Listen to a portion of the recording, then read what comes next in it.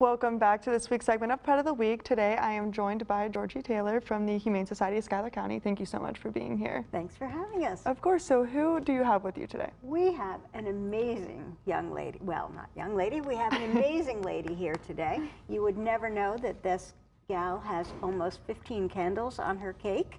Wow. Um, she um, is, is almost 15 years old. She came to us when her owner passed away, and unfortunately, no one was able to care for her. So she ended up with us in our care.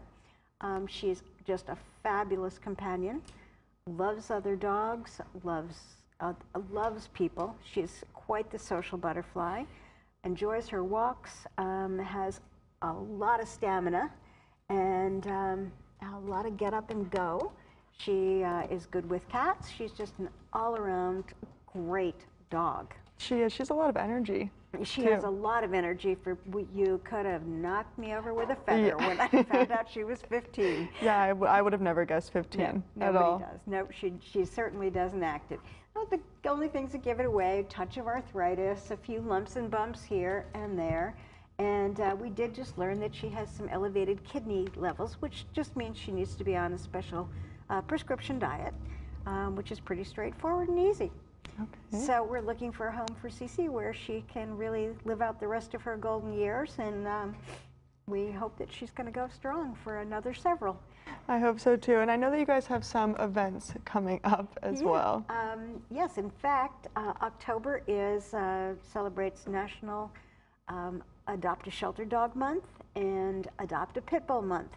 So, with Cece being part pit bull and certainly a shelter dog, she seemed like the perfect, perfect representative for today.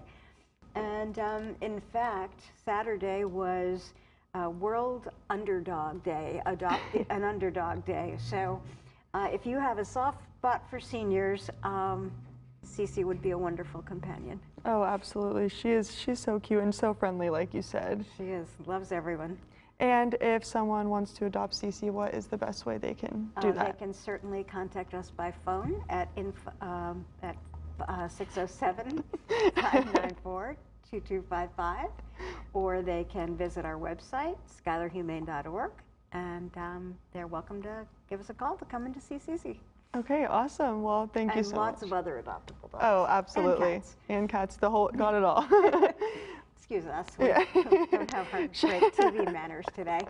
no, it's okay. She. well, Georgie, thank you so much for coming in today and bringing Cece with you. She. Thank you.